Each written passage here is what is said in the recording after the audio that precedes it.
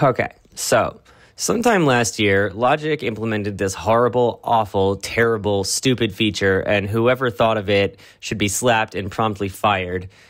Today, we're going to be learning how to block that feature. Uh, even though you may have told Logic before to stop asking and to don't ask me again, and that I don't want to use my iPhone as a microphone, it will continue asking because it just doesn't work. A year later, they have not sorted this out.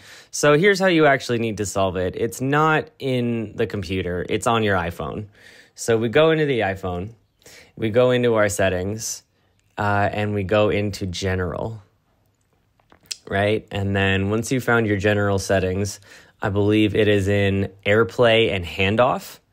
You're going to have to turn off the continuity camera.